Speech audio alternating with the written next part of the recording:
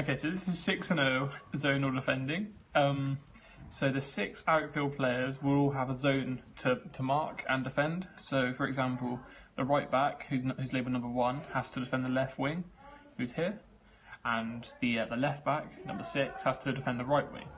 Um, there's a lot of shuffling, so if somebody comes out of position, say the left wing goes out to press the, the right back, the left back will have to come into here if the right wing is here as well, but if not, he'll to cover the whole area.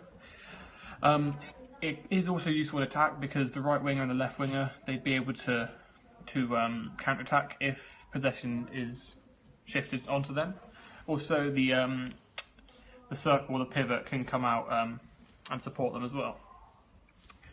Um, the reason it's useful is just because it covers there, there's six on six, so there's there isn't any overlapping or or stuff like that because everyone knows who they're marking, where where they're marking, and that is zonal defence.